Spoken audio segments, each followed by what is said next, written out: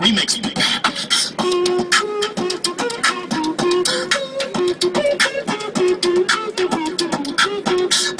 With some knocks.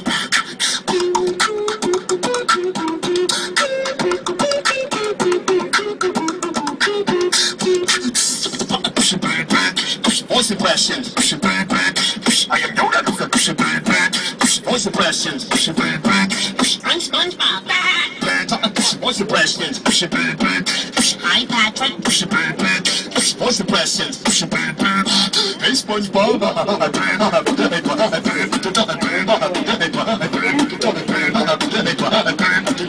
I'm hungry. Usher.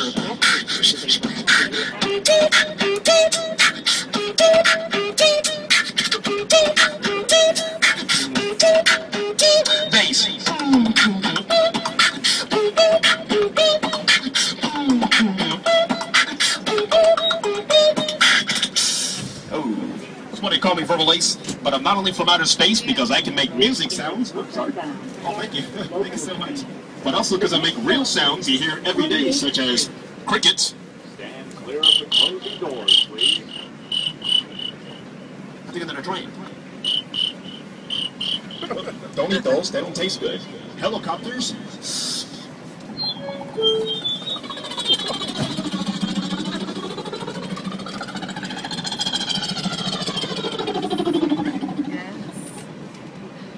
They landed over there. And in case you guys are wondering who does the recorded voice at a subway train, that's me too, where he says, Stand clear of the closing doors, please.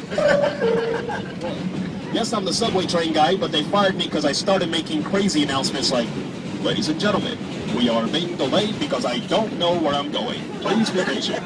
Transfers available to the Soul Train. Yes, the Soul Train. That's why they fired me. I'm also the recording voice you guys hear on the platforms This says, the next local Manhattan-bound train will arrive in 10 days. Wait, how long? 10 days. But since you asked, now it's 11 days. What? Why is that? That's scary. And this is my voice imitation of the guys on the subway train. But first, I'm gonna. Oh, thank you. Thank you so much. I'm gonna. I'm gonna make the same sound at the same time. The same voice of the guy. Here we go. Same tone, same person, same bat channel. Doesn't come on. Here we go. Clear of the closing doors, please. Ooh, I got the tone right too. And now this is my voice imitation of the guys on the subway train. When they make an important announcement, and only when you really need to hear it, they sound exactly like this.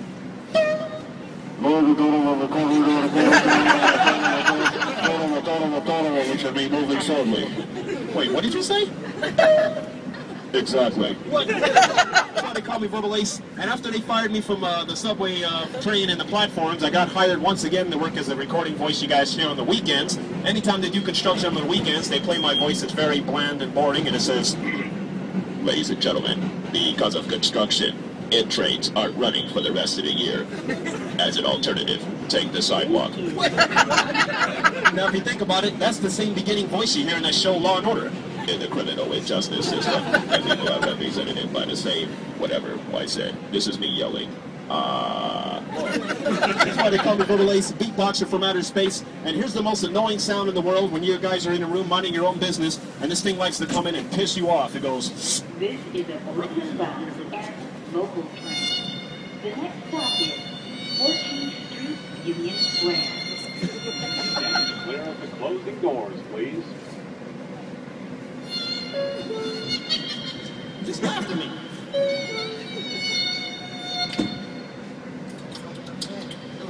That's nasty.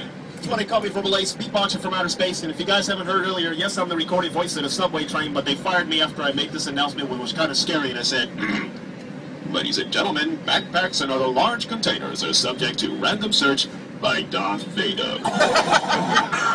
Luke, I still am your father. How do you know you're his father? Because I went to the Maury show and had a test and proved I am his father. That's scary. That's why they call me Verbal Ace. And on another side note, I went into my mom's room to wake her up for work. She ended up throwing a shoe at me because she thought I was an alarm clock. And here came the shoe. That's why they call me Verbal Ace. Don't forget to check me out on YouTube. It's SpongeBob Beatbox. I hope I made the train ride a little bit more entertaining. Check me out on YouTube. It's SpongeBob Beatbox. All my videos are kid friendly. I'm also a starving artist trying to get back home for my birthday. Today's my birthday.